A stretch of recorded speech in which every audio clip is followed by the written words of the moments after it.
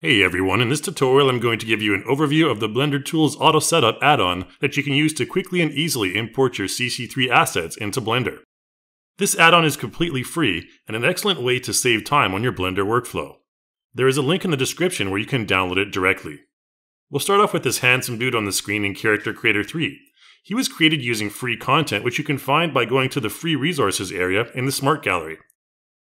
Okay, the first item of business is to export him using FBX format so we can get him into Blender.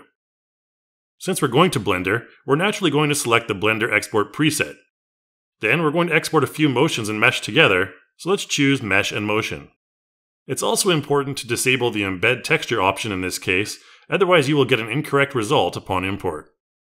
For motions, you can simply click and drag them into the correct area, and we also want to ensure that we turn on Delete Hidden Faces to avoid mesh issues while animating in Blender.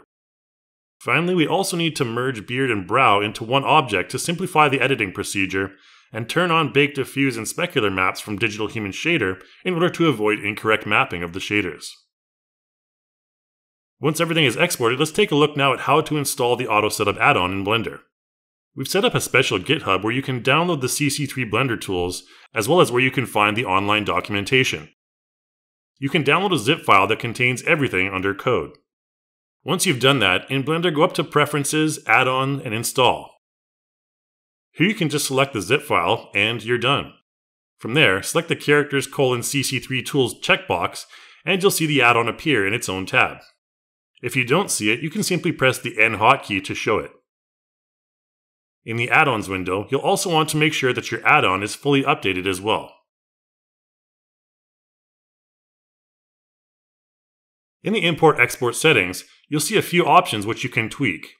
In this case, I'm going to import a character with lighting but no physics, so I'll make sure to select those options, and then proceed to select Import Character and choose my own FBX. Once that's done, you'll see the character appear in the viewport. All of the materials will be assigned automatically, and you'll get a pleasing visual result right off the bat. There are five sections in the add-on which I'm going to quickly introduce. There will be further tutorials that will go into more details.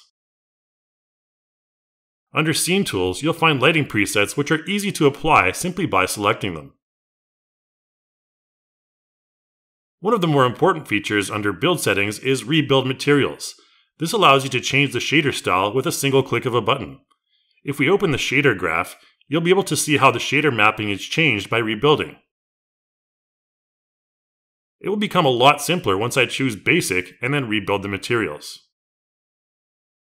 In the Material Parameters section, you can adjust the shader settings quite easily.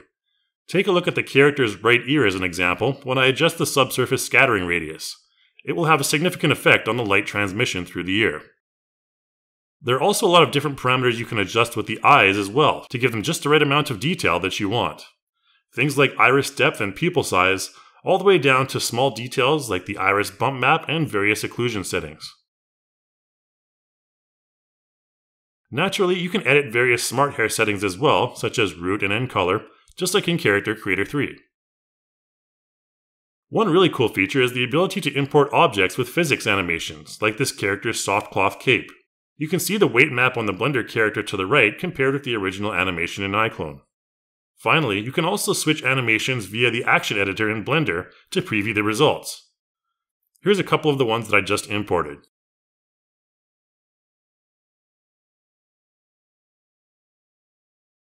That's about all there is for this brief intro, guys. Be sure to check out our other tutorials on the CC3 Blender tools for lots more details and useful tips. And as always, check our forums at forum.reallusion.com. I'll see you in the next video.